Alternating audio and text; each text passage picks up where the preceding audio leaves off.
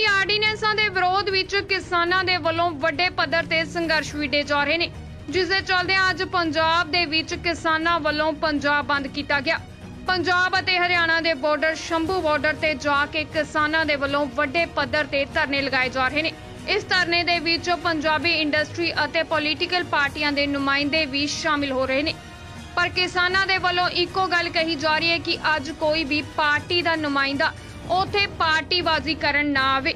ਸਗੋਂ ਉਥੇ ਕਿਸਾਨੀ ਲਈ ਅਤੇ ਕਿਸਾਨਾਂ ਦੇ ਹੱਕਾਂ ਲਈ ਆਵੇ। ਉਥੇ ਹੀ ਕਿਸਾਨਾਂ ਦੇ ਵੱਲੋਂ ਭਾਜਪਾ ਦੇ ਆਗੂਆਂ ਤੋਂ ਵੀ ਅਸਤੀਫੇ ਦੀ ਮੰਗ ਕੀਤੀ ਜਾ ਰਹੀ ਹੈ।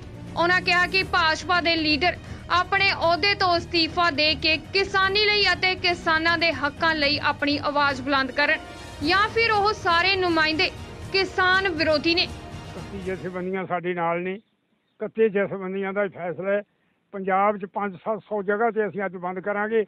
ਕੋਈ ਟ੍ਰੈਫਿਕ ਨਹੀਂ ਚੱਲਣ ਦਿੱਤੀ ਜਾਊ, ਕੋਈ ਰੇਲਵੇ ਨਹੀਂ ਚੱਲਣ ਦਿੱਤੀ ਜਾਊਗੀ। ਜਿਹੜੀਆਂ ਜਥੇਬੰਦੀਆਂ ਰੇਲਵੇ ਰੋਕਦੀਆਂ ਨੇ, ਅਸੀਂ ਉਹਨਾਂ ਦਾ ਵੀ ਸਮਰਥਨ ਕੀਤਾ ਹੋਇਆ। ਜਿਹੜੀਆਂ ਜਥੇਬੰਦੀਆਂ ਪਟਿਆਲੇ ਬੈਠੀਆਂ ਨੇ, ਬਾਦਲ ਪਿੰਡ ਬੈਠੀਆਂ, ਅਸੀਂ ਉਹਨਾਂ ਦਾ ਵੀ ਸਮਰਥਨ ਕੀਤਾ ਹੋਇਆ। ਉਹ ਸਾਡਾ ਵੀ ਸਮਰਥਨ ਕਰਦੇ ਨੇ। ਇਸ ਕਰਕੇ ਇਹ ਬੰਦ ਤੁਸੀਂ ਦੇਖੋ, ਮਿਸਾਲ ਹੋਊਗਾ। ਸਾਡੇ ਕੋਲ ਖਬਰਾਂ ਆ ਰਹੀਆਂ ਨੇ। ਲੋਕ ਇਹਨਾਂ ਸਿਆਸੀ ਪਾਰਟੀਆਂ ਨੂੰ ਕਹਿੰਦੀਆਂ ਨੇ, ਜਾਓ ਅਸੀਂ ਤਾਂ ਕਿਸਾਨ ਯੂਨੀਅਨ ਦੇ ਧਰਨੇ ਜਾਣਾ। ਕਿਵੇਂ ਬਾਬਿਆਂ ਨੇ ਲੰਗਰ ਲਾਤੇ ਆ? ਕਿਵੇਂ ਫੰਡ ਉੱਥੇ ਇਕੱਠੇ ਕੀਤੇ ਜਾ ਰਹੇ ਨੇ? ਕਿਵੇਂ ਪੰਡਾਲ ਲਾਏ ਜਾ ਰਹੇ ਆ ਜਿੱਥੇ ਵੀ ਅਸੀਂ ਆ? ਰੇਲਵੇ ਤੇ ਲੋਕਾਂ ਨੇ ਪੰਡਾਲ ਲਾ ਲਏ ਨੇ, ਗੱਦੇ ਵਿਛਾਤੇ ਨੇ। ਕੋਈ ਪੰਜਾਬ 'ਚ ਰੇਲ ਨਹੀਂ ਚੱਲੂਗੀ, ਕੋਈ ਟ੍ਰੈਫਿਕ ਨਹੀਂ ਚੱਲੂਗੀ, ਜਿੰਨਾ ਚਿਰ ਆਰਡੀਨੈਂਸ ਵਾਪਸ ਨਹੀਂ ਕਰਾਈ ਜਾਂਦੀ। ਸਾਡੀ ਪੰਜਾਬ ਦੀ ਮੀਟਿੰਗ ਹੋਣੀ ਆ 31 ਜਥੇਬੰਦੀਆਂ ਦੀ, ਜਿਹੜੀਆਂ 10 12 ਆ ਕੋਸ਼ਿਸ਼ ਕਰਾਂਗੇ ਉਹ ਵੀ ਆ ਜਾਣ। ਜਿਹੜੀ ਰਣਨੀਤੀ ਅਸੀਂ ਰਲ ਕੇ ਬਣਾਵਾਂਗੇ, ਉਹੀ ਲੱਗੂ। ਹੋਊ। ਮੈਂ ਇਕੱਲਾ ਇਹਦੇ ਬਾਰੇ ਫੈਸਲਾ ਨਹੀਂ ਦੇ ਸਕਦਾ।